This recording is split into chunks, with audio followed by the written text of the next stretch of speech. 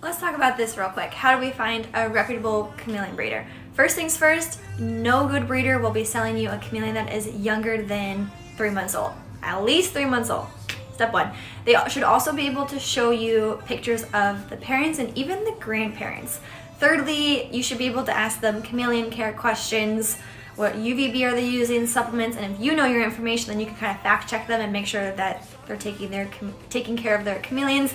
And you can ask for pictures of their setup. A good breeder should have no issues showing you how they're caring for their chameleon. And the fourth thing is to read reviews.